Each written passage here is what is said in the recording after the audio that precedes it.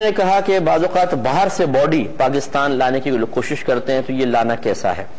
देखिए, सबसे अफजल और अवला तो यह है कि अगर वहाँ कोई शरी कबाहत ना हो तो वहीं दफनाएँ।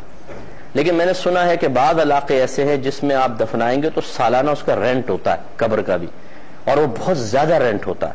फिर वहाँ पे मतलब कब्र वगैरह बड़ी महँगी है, सब कुछ है। अगर इस तरह की सूरत हाल है कि पर ईयर आपको बहुत एक ह्यूज अमाउंट देना पड़ेगा उस कब्रिस्तान के लिए तो फिर आप इस किस्म की कोई मजबूरी हो तो फिर आप यहाँ पर ला सकते हैं। लेकिन इससे मुर्दे को अजियत बहुत ज़्यादा होती है, इसको कोई इनकार नहीं कर सकता। लिहाजा अगर वहाँ पे कोई ऐसा उजर नहीं है, या आप आराम से अफोर्ड कर सकते हैं तो फिर वहीं दफनाएँ, वरना बसूरत दीगर या अमर मजबूरी यहाँ पर भी ला सकते हैं।